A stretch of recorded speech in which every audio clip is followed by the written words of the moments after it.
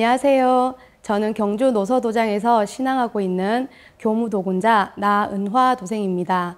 저는 현재 남편과 초등학생 딸아이와 함께 가족 신앙을 하고 있습니다.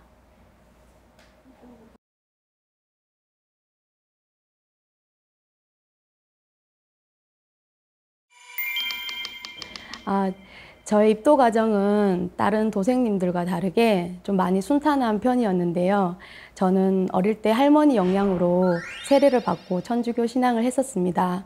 그리고 대학교 1학년 때는 대순 진리회 분들을 우연히 만나게 되었는데요. 그때 사실 어, 저한테 크게 와닿는 내용들이 많이 없어서 한두 번 만나고는 더 이상 교류를 하지 않았습니다.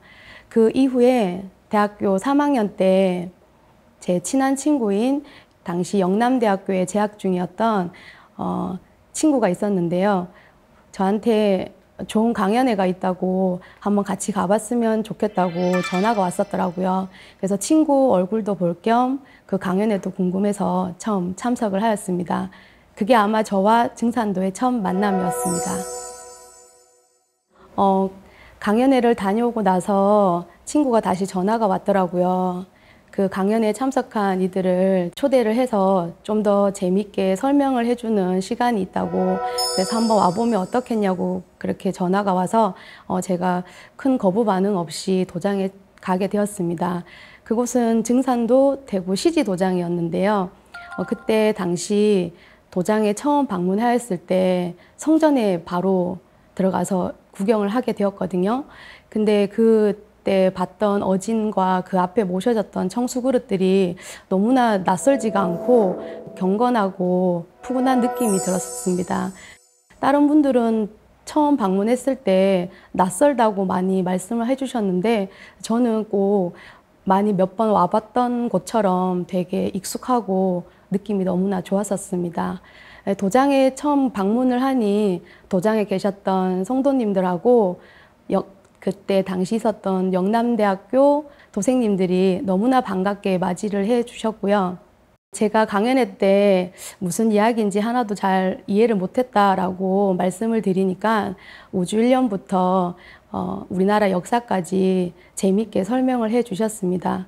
제가 너무 관심을 많이 가지니까 어, 거기 계셨던 선배 신앙인 분께서 그러면 학교 수업을 마치고 도장에 와서 꾸준하게 진리 공부를 해보지 않겠냐라고 말씀을 해주셔서 흔쾌히 학교 수업을 마치고 매일 버스를 타고 도장에 방문을 해서 수행도 하고 팔관법 진리 공부를 배우면서 너무나 자연스럽게 131년 4월 6일에 저는 입도를 하게 되었습니다. 어, 그때 제가 수행이 참 너무나 관심이 많았고 하면 할수록 재미가 있더라고요. 그때 당시에 제일 처음에 전희수 수호사님이 계셨었는데 그때 저에게 수행에 대한 자세를 알려주면서 참 재밌게 수행을 인도를 해 주셨거든요. 그래서 수행을 하면서 바로 도공도 어, 하게 되었고 어, 수행을 하면 할수록 제 어두웠던 그런 성격도 많이 밝아지고 너무나 수행에 그런 좋은 기운을 많이 받았었습니다.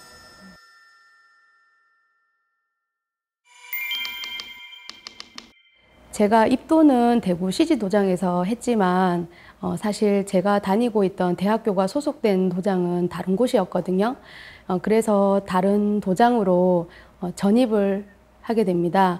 어, 도장을 옮기면서 제가 그때 상진님 신앙을 조금 더 제대로 해보겠다는 그런 의지가 있어가지고 어, 의논을 드리니까 도장 스테이를 권유를 하셨거든요. 그래서 한 약 7년 정도 도장 스테이를 시작을 하게 되었습니다. 어, 그때 함께 한 많은 도생들이 있는데요. 그들과 함께 제가 20대 때 해보지 못할 뻔한 그런 여러 가지 경험들을 참 많이 했었던 소중한 시간이었습니다. 그 소중한 시간이 사실 지금 제가 지금 이 자리에 있게 해준 원동력이 되는 것 같습니다. 지금 그때 함께 어, 도장에서 스테이를 했었던 도생들이 참 많았었는데요. 지금 한 14, 5년 정도 흘렀습니다. 어, 그분들은 지금 여기 STV 방송국에서 근무도 하시고 그리고 성직자로 활동도 하고 계시고 그리고 저처럼 결혼을 해서 가정을 이루며 신앙을 하고 있는 도생들이 있습니다. 항상 제가 어렵고 힘들었지만 그때 그 함께 해준 도생들이 있어가지고 그 시기를 너무나 행복한 추억으로 이렇게 제가 기억하고 있는 것 같습니다. 그래서 만날 때마다 얼굴만 봐도 웃음이 나고 어, 너무나 행복합니다.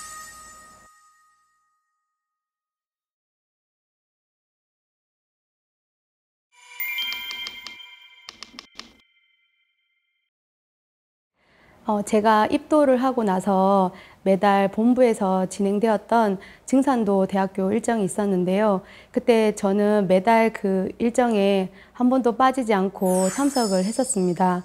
그때 태상 종도사님과 종도사님의 말씀을 현장에서 직접 받들고 그 말씀의 큰 기운에 정말 큰 은혜를 받았었는데요. 그때 당시 도장의 신앙 도생님들께서 두 분의 말씀 복명에 대한 교육을 많이 해 주셨어요. 그래서 그게 너무나 중요하다라는 것을 알고 저는 항상 증대에 참석을 하게 되면 손목이 아플 정도로 열심히 토시 하나 놓치지 않고 쓰려고 노력을 했던 기억이 납니다. 어, 사실 저한테 태상 종도사님과 종도사님의 도움 말씀을 받드는 시간은 그 분들의 신앙을 본받으려고 하는 스스로 또 다짐하는 시간이기도 하고요. 그리고 제가 나태해지고 게을러졌을 때는 또 제 자신을 반성하고 채찍질하는 그런 시간이기도 했습니다. 그리고 제가 힘들고 지쳤을 때는 큰 위로와 격려를 받는 너무나 소중한 시간이었습니다.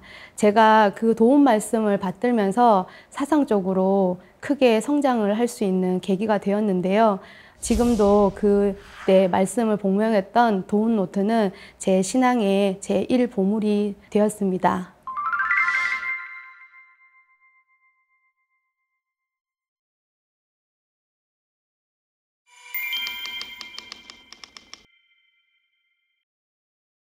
어, 제가 다른 분들에 비해서 입도 과정이 사실 순탄했었잖아요.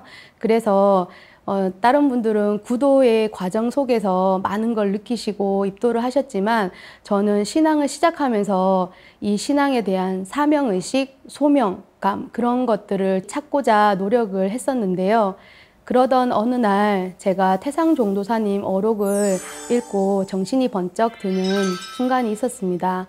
그때 제가 크게 깨달았던 도움 말씀을 한번 읽어보겠습니다. 내가 상제님 신앙을 하는 것은 우연이다. 그저 우연히 들어와서 상제님 신앙을 하게 됐다고 단적으로 생각하지 말아라. 제군들은 여러 백대, 수많은 조상들의 염원과 인류에 대한 책임감, 그 무거운 짐을 지고 신앙을 하게 됐다는 사명감을 똑똑히 알아야 한다. 그걸 모르고 게으르게 살면서 제 주장이나 내세우고 하찮은 것 때문에 서로 의사가 맞지 않는다고 틀어지는 건 있을 수 없는 일이다. 이 말씀을 읽고 제가 그저 평범했던 대학생이었었는데 상제님 진리를 시작을 하면서 12만 9,600년 만에 오직 한 번만 있을 수 있는 그런 천지 사업의 기회를 받은 삶으로 바뀐 거잖아요. 그래서 그런 기회를 주신 조상님들께 보온하는 신앙인이 되어야겠다고 다짐을 하였고요. 그리고 사람 살리는 일이 얼마나 경건하고 막중한 일이라는 것을 다시 한번 도움 말씀을 보면서 크게 깨달았습니다.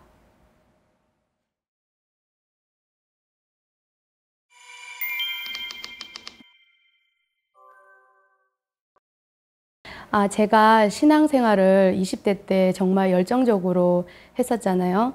어, 그런데 결혼을 하고 나서 어, 몸이 조금 좋지 않았던 관계였는데, 어, 그때 갑자기 또 아이를 출산을 하고 육아를 하게 되면서 어, 제 신앙에 약간은 흔들렸던 시기가 있었습니다. 어, 생각보다 그 기간이 조금 길었었는데요. 그 기간 동안 제 마음 한편에는 어, 이렇게 있으면 안 되는데 어, 좀 더 지금 열심히 신앙을 해야 하는데 어, 그런 스스로 자책감 그리고 답답함을 많이 느꼈었습니다. 어, 그러다가 어느 날 정말 이렇게 해서는 더 이상 신앙을 해서는 안 되겠다라는 생각이 들었고요. 어, 그래서 지친 몸과 마음을 추스릴 수 있는 무언가를 해야겠다. 그러면서 제가 처음으로 100일 정성 수행을 시작하게 되었습니다. 어, 제가 신앙을 하면서 7일, 14일, 21일 그런 49일 정성 수행은 참 많이도 했었는데요. 이상하게 100일 정성 수행은 한 번도 해보지를 않았더라고요. 어, 그래서 어, 주가포를 처음에 입공지성을 드리고 그때 2018년 10월 9일 날 어, 제일 처음으로 1차 100일 정성 수행을 시작하게 되었습니다. 100일이라는 시간이 참 너무나 멀게 느껴졌었는데 하루하루 하다 보니까 예전에 그 신앙했던 그 감정들도 솟구쳐 오르고 너무나 어, 왜이 좋은 거를 이제서야 하게 됐나 어, 그런 생각도 들면서 점차 저의 그런 묵은 기운이 벗겨지는 것을 느꼈습니다. 그러면서 제가 다시 도장에서 집정 역할을 수행을 하게 되면서 도장에 좀 더 집중하는 그런 신앙의 시간이 시작이 되었습니다.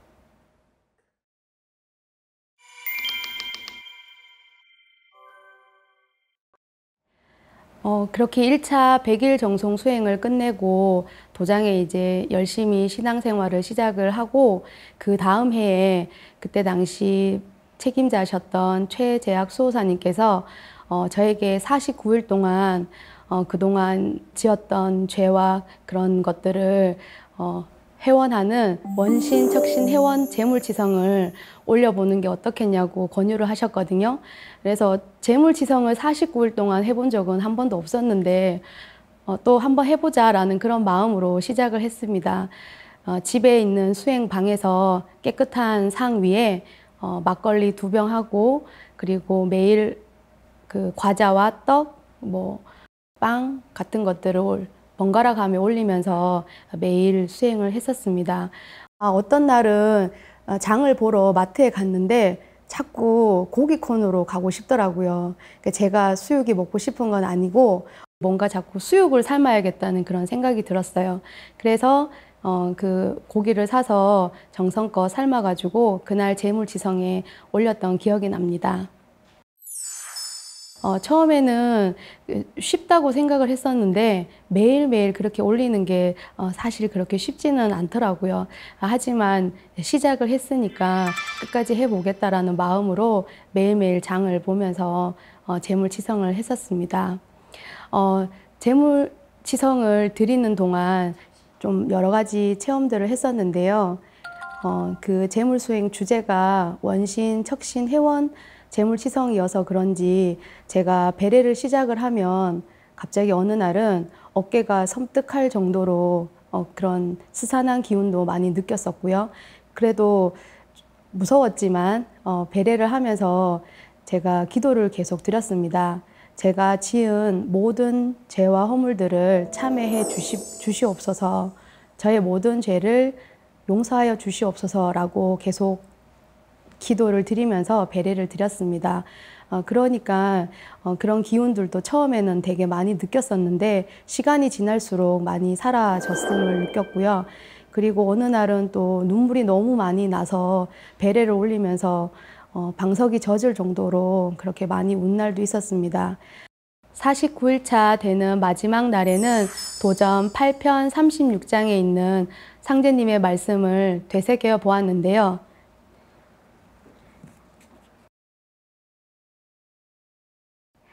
덕무 이명하고 과징 비식하라. 덕을 힘쓰기는 귀 울림 같이 하고 허물 다스리기를 코로 숨 쉬듯 하라. 너희들은 남 용서하기를 힘쓰라. 한량 없는 덕이 있느니라. 참는 덕이 크고 용서하는 덕이 크니라.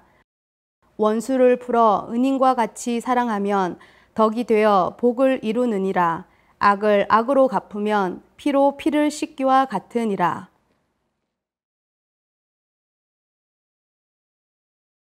어, 마지막 날에 배례를 하면서 갑자기 생각이 났던 도전 성구였는데요. 어, 가만히 되돌아보면 제가 전생에도 수많은 죄를 지었을 거고 알고도 짓고 또 모르고도 지은 죄들이 참 많을 거라고 생각을 하거든요. 그 많은 죄들로 인해서 어, 저로 인해서 어, 아파하고 또 힘들었던 그분들을 위한 그런 시간이어서 어, 다시 한번 상대님의 그런 원가함, 상극에 대한 그런 문제를 한번 깊게 생각해보는 뜻깊은 시간이었습니다.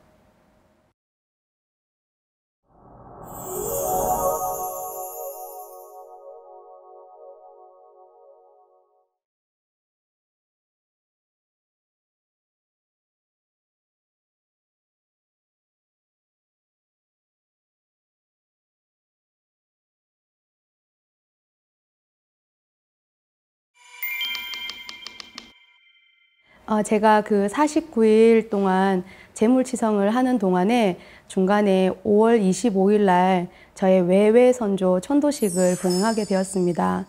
그 천도식을 어, 준비하면서 이권한 도생님의 그 수행 체험집을 읽게 되었었는데요. 그 책 내용 중에 어, 이런 말이 너무나 인상이 깊었습니다. 천도식을 올리지 않으면 우리들도 천추의 한이 되고 너 또한 천추의 깊은 한이 된다. 이것을 뼈저리게 새겨라 라는 말씀이 크게 와닿았었는데요.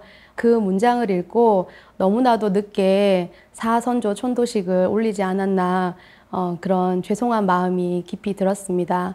어, 이 외, 외배선조 천도식을 준비를 하면서 제가 좀 많이 놀랐던 부분이 있었는데요. 평소에는 증산도 이야기를 그렇게 귀담아 들어 하시지 않았던 저희 친정 엄마께서 조금은 관심을 가지시고 안부차 제가 전화를 드렸을 때, 어, 그 얘기를 하려고 한 건 아니었었는데 갑자기 그 이야기가 꺼내, 꺼내졌었거든요.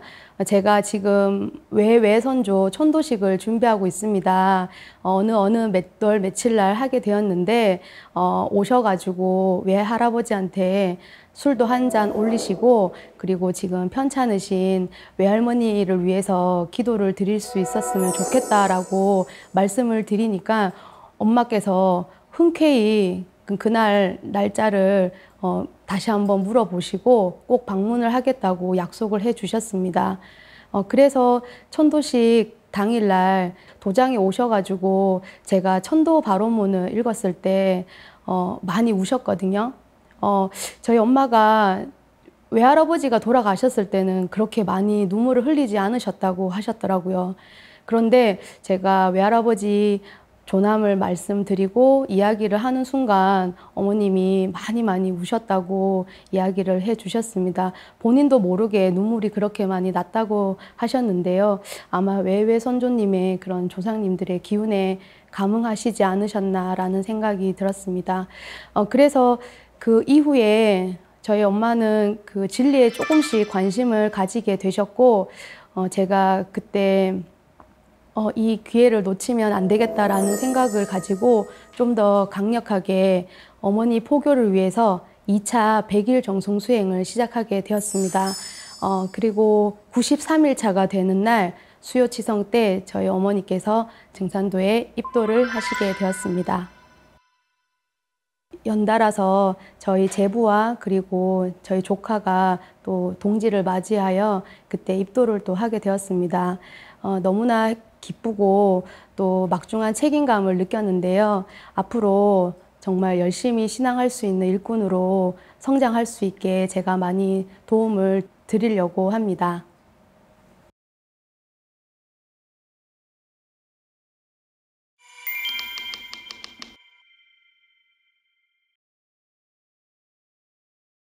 제가 세 번째 100일 정성 수행을 3월 달에 시작을 하게 되었는데요. 어, 이번에는 기존 두 번과는 다르게 종도사님께서 태울주 수행 체험집은 증산도 대학교 석박사 논문이다라는 그런 도움 말씀을 받들어서 제가 수행 체험집을 구입을 하여 매일매일 수행한 내용을 기록을 하면서 100일 정성 수행을 시작하였습니다. 수행을 일지에 매일매일 적다 보니까 제가 그날은 어떤 곳이 아팠는데 어떤 수행을 하니 많이 좋아졌다. 그리고 또 그날 들었던 도움 말씀도 적어보고 그런 신앙의 또 재미가 느껴졌던 3차 100일 정성 수행이었습니다. 어, 사실 100일 정성 수행을 시작할 때 제일 첫 번째는 과연 끝까지 해낼 수 있을까 걱정이 앞섰었는데요. 한 번, 두 번, 세 번 하기 시작을 하니까 할 수 있다라는 그런 강한 자신감이 생겼습니다. 그래서 이제는 정성 수행을 하겠다고 하면 최소 100일 정성 수행은 해봐야 정성 수행을 한 것 같다는 그런 느낌을 받습니다. 어, 사실 저는 이제 앞으로 이 100일 정성 수행을 10번을 한번 해보는 게 목표입니다.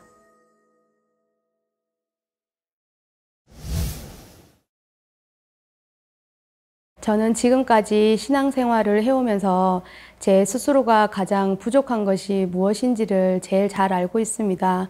그건 바로 끈기와 의지인데요. 그래서 제가 계속 100일 정성 수행을 하는 이유이기도 합니다.